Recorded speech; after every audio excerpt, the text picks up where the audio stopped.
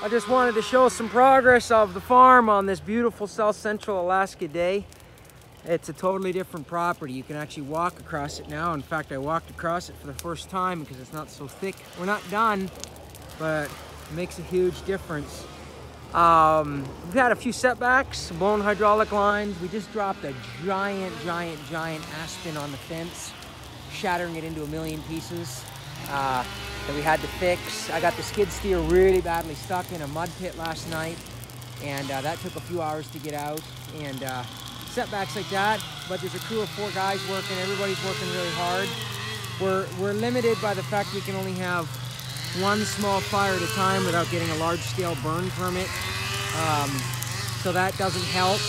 But um, we burn it out and put it out and then light another one and it'll just, we'll just get it done slowly. The one big issue that's gonna come up here is all these stumps. There's thousands of these stumps. And um, normally I'd wanna burn them and return the nutrients to the soil, but there's no way I can have a pile of stumps that big without it being completely in the way.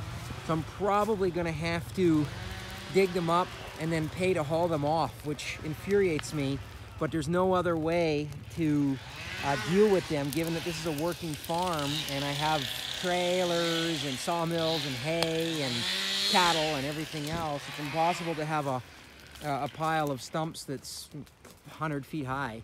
So uh, we're just gonna have to do that. But I mean, it looked completely different. And when we get all the rest of these uh, dead and dying spruce out of here and all the dead and dying uh, aspen and, and uh, birch even, it's gonna be totally different. We had to clear cut this side of it because that hill there is getting pushed down into Shit Valley, which is where my cattle handling facilities are gonna be.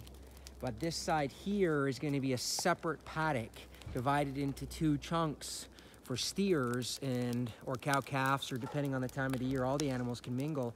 So we're going to leave all the deciduous trees because a it's just prettier. It gives some windbreak it gives some shade it gives something for the cattle to scratch on it gives some leaves to improve the soil all of that sort of thing. So we're working away here and um, i'm pretty excited about the cattle handling facility the stockyards that we're going to build this summer. I think it's going to be really awesome. We're going to have automatic waterers and we're going to divide this whole thing into a section for bulls, one for steers, one for replacement heifers, one for cow-calf pairs, and everybody's gonna get a quarter of the property, which I'm then gonna divide again so I can very intensively manage the grass because I'll never, ever, ever have enough grass here to feed my herd, but I'm gonna uh, do an experiment with a really intensive management with uh, fencing and cross fencing, trying to let them graze very briefly and then pulling them off of it and seeing if I can at least give them some grass it'll certainly be better than this mess now of dead and dying trees. Even these big aspen, you think they're super pretty, they're all rotten in the heart, almost all of them, even the birch. They've all just completely outlived their lifespan. Uh, the, the beetles are all killing the spruce and the big aspen are all uh, dead and dying. They don't look like it, but trust me, when you get into that heart and they're completely hollow, they're just a danger. So the downside is I'm gonna have to clean off most of the trees on this property but it's going to be uh, really nice pasture land. I'm going to have my apple orchard over there and uh, stockyards and chicken and pen for, uh, pens here for the hogs. And um, it's going to be quite the place when we're done. So all it requires is a bunch more work and money. So on that note, I'll go back and check this fire.